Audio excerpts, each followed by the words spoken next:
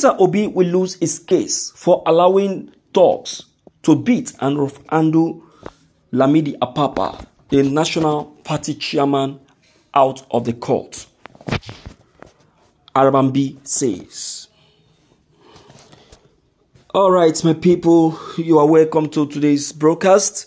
Um, this Arabambi is uh, a representative and a representative and also a faction uh, member of um, Lamidi Apapa, the nas acting national chairman of the Labour Party. He is saying that uh, for Peter Obi allowing the beating and rough handling of Lamidi Apapa out of the courts yesterday withdraw is uh, withdraw him out of this very case. Um, he said that he, that if Peter Obi dare allow Lamidi Apapa to take this this um, step, that he as, is assuring Peter Obi that he's not going to see the front, neither is he going to see the back of Aso Villa.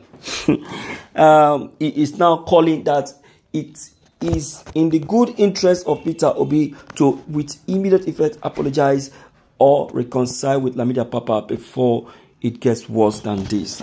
My people, you can imagine. I will tell you the humble truth. Um, the architect of all of this problem in um, in in, in Labour Party is Lamidi Apapa. Yes, if we are to say the truth, it's not Peter Obi. It's not Peter. If Lamidi Apapa has allowed the sleeping dog to lie, I see no reason why anybody is going to rough handle him. Lamidi Apapa is the reason why there is crisis in the Labour Party. If I must tell you this, Lamidi Apapa is the tool that has been planted in Labour Party to cause division, to cause distraction, so that there won't be focus for people, for the Labour Party members to strategize and think on how to help Peter Obi gain his victory. So, what is Arabambi talking about? Let's listen to him. This is Morning News. A member of Lamidi Apapa faction of the Labour Party, Abayomi Arabambi, has criticized the lawyers that are representing Peter Obi at the presidential election petition tribunal sitting in Abuja. It would be recalled that there was drama both inside and outside the appeal courts in Abuja following the coming of Lamidi Apapa and his loyalists. Apapa was mobbed by some Obidient just when he was coming out of the court premises. However, Arabambi, who experienced the incident while speaking to TVC, said Peter Obi lawyers are not serious. According to him, they have all the time to work on the documents on their possession, but they are always looking for excuses. He said the pre hearing is going to end on Saturday without anything to show, he asserted that if care is not taken, the petition will be dismissed. The pre-hearing will end on Saturday if they do not get their act together.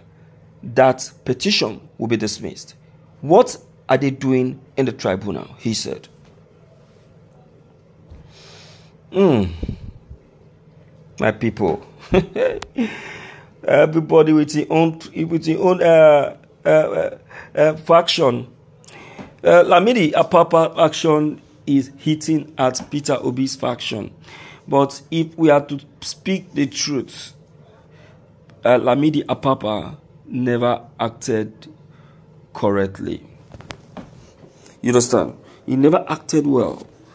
He, uh, he, he, he is gradually causing a division unknowingly. Do you understand now? He's uh, causing destruction, You know, and um, there is facts to believe that uh, we, with all of this that he is doing, he might, uh, he, he, he, he might, um, you know, cause a complete shutdown of the Labour Party, God forbid, party. So that is why it is very important that even the so-called Lamidi Apapa is quickly handled by the Labour Party member they need to stop him with immediate effect before it causes more harm to um, to the party. You understand? Already he have started affecting and also inflating so many of them. Look at this very one, Arabambi. Look at listen to him and what he is saying. It's, it's not supposed to say such thing. It's not. It doesn't go well. It doesn't go well at all, in any way. You get it. All right. Um, let's quickly uh, hear you, my dear people. Let's know what your uh, take and your opinion on this very matter maybe. Don't forget to leave them below the comment section. Click on the subscription buttons as well as the bell buttons to get updated each time we upload any new videos. Thank you.